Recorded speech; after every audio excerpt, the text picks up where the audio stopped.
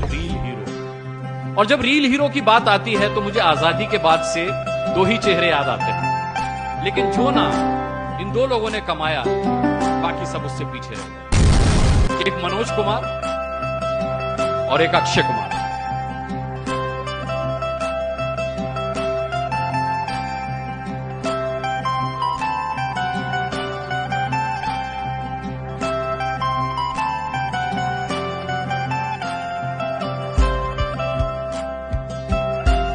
अभी तो मैं आर्मी में नहीं आ सकता ना मैं कभी जा सकता हूँ लेकिन मैं कोशिश करता हूँ अपने सेलिब्रिटी होने के नाते उसका फ़ायदा उठा के चुपचाप उनकी ज़िंदगी जाके थोड़ा बहुत वक्त उनके साथ बिता के कोशिश कर।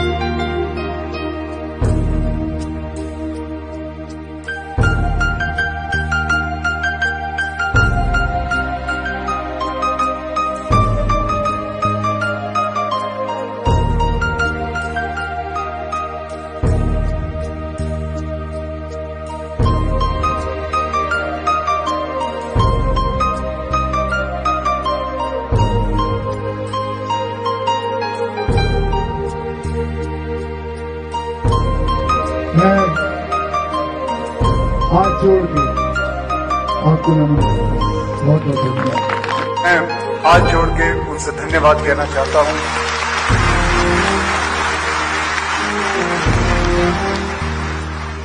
आज मैं यहाँ एक एक्टर एक्टर के नाते नहीं आया हूँ। आज मैं एक्टर नहीं हूँ, मैं कुछ भी नहीं हूँ। मैं मेरे पिताजी आर्मी में थे। मैं उनका बेटा बन के